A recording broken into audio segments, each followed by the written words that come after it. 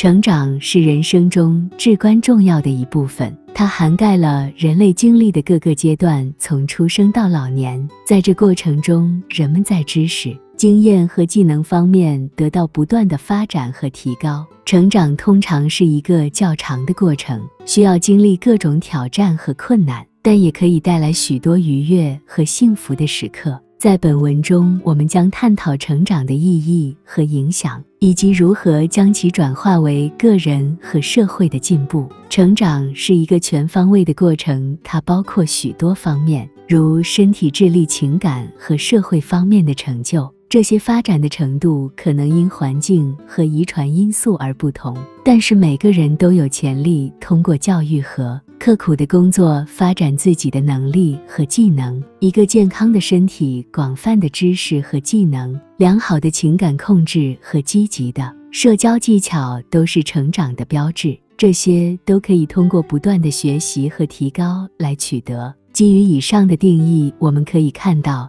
成长对个人和社会都有着深远的影响。对于个人来说，成长可以带来更高的自尊和自信，这将有助于进行日常社会活动。成长还有助于人们理解更多的文化技能和经验，在工作和社交方面有更好的表现。在家庭方面，成长还会改善人们的关系，提高父母和子女的情感联系。在社会层面上成长，可以推动社会文明的进步。许多发展成果都随着时间的发展而得以实现。这就是为什么很多国家都在注重教育和技能培训的原因。许多农村地区和广大农村地区的发展都需要提高人们的技能和知识水平，以便使他们更能参与社会的各个方面的发展。另外，通过在各个领域中发挥更大的作用，人们可以做出贡献来改善社会的整体状况。